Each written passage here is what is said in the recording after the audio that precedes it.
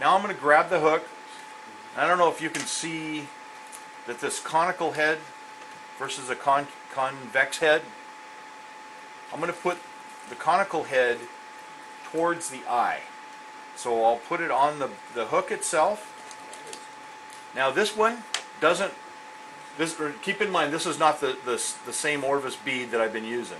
It's a little bit different. So I'm just going to have to force it to go over that bend. Okay? And it'll stop there.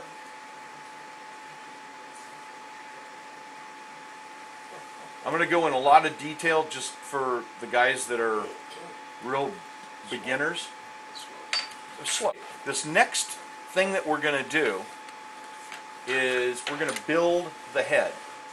So what I do is I'm using black size uh, 6-aught thread and I'm just going to tie it on here right on up against the eye. About five or six wraps. Then I'm going to trim it. Okay. Do is I'm going to build a head right Yep. How much pressure do we have to put it on the like that? to get we're building this head up. That's all we're doing. Now, um, it's going to take a little bit to build this head up. So it's going to stop the bead from going over the eye. Can you see that? Yeah, I want the bead to come right up to the eye, I don't want the bead to come right up to the eye. just short of Yeah. What I want to do is I want to have a little black head right there. Oh, okay. when we finish it. Okay, Okay. so I've got I've got the thickness that I want. Now I'm going to come back towards the back where it's going to be covered by the bead. So I, I'm wrapping it towards the the hook, and I'm just going to throw in a couple of quick half hitches. Okay, that's all I'm going to do. Just three three half hitches. Now. I'm going to put a big old dab of head cement on here. The stuff I'm using is called hard-headed, and it's uh, a pretty good water-based.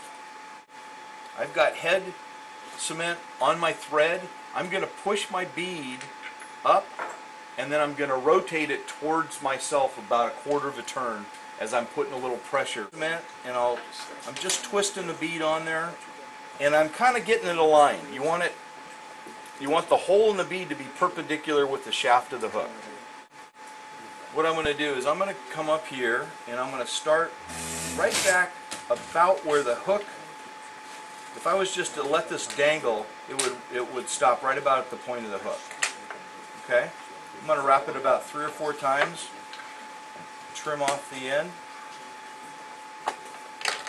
Okay. Now, remember a moment ago I was talking about the texture of dubbing. Now see how this has got different colors in it? Can you see that in the in the screen? Okay. I like a lot of different colors in, in the dubbing. This one um, just came straight out of the bag. And what I'm going to do is I'm going to pinch a little bit and just roll it on the thread. Now, I'm dangling my thread so there's a little tension. And I just am taking a little pinch thickness, if you're tying a little thin dry flies and you're tying the uh, thorax with um, dubbing, thickness is really important. For these type of flies, I don't care. I just want it to hold on there.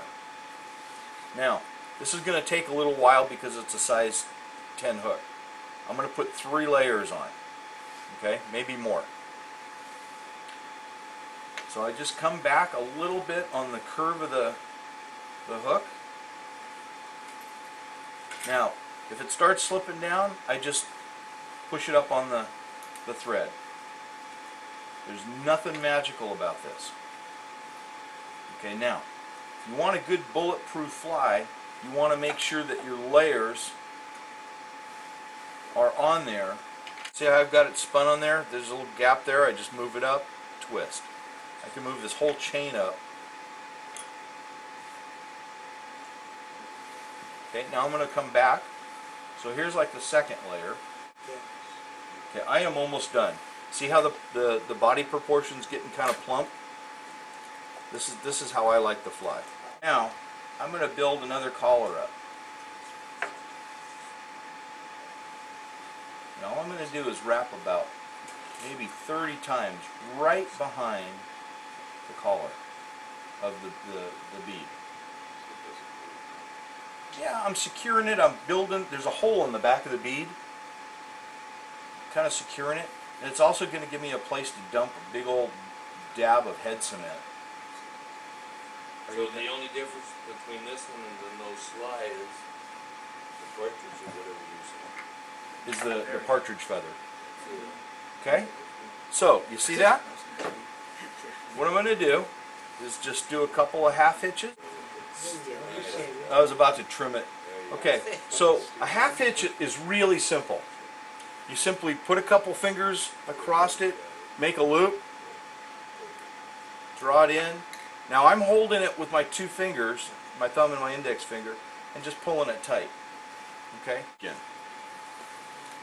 And right down in here, not the act, not the lowest tail feathers, not the lowest tail feathers, but right up here. Okay, and all the way up through the back are various sizes of the feather that we're going to use, which is this guy right here. Can you see that? Now, since this is a size 10, we're going to want a pretty good size feather. Okay, so you see how I separated that? This is the very tip of the feather. And then I pulled them all down. What we're going to use is all these feathers right here. But what you want to do is just dangle it down and loop it in there. It doesn't really matter how you got it in there, but I put four wraps on. Okay? I'm going to put hackle pliers on so you can see. We're going to go around here one to two times, and I'm also going to adjust that I wrap it kind of perpendicular. But before I go any farther, I got it halfway over there, I'm going to cut the tips out.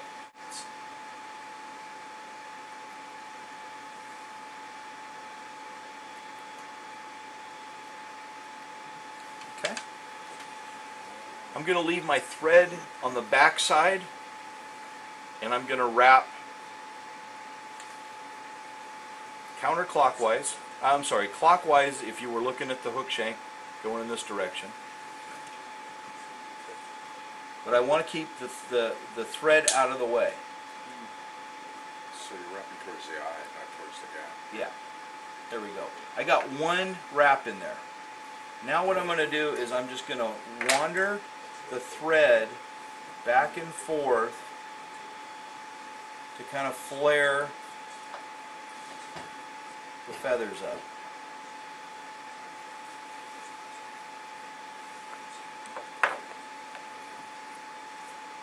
Now this time I'm going to end up in front. So I like to usually go around about three, three to four times. That'll just separate the partridge feathers, okay? Now, okay, then I cut that out of there. And I just pull them back. Finish it off. And put a couple more half hitches in there. You could do two feathers, could you? Or would that be too much? Yeah, you could. Okay, now I'm going to put a little head cement on.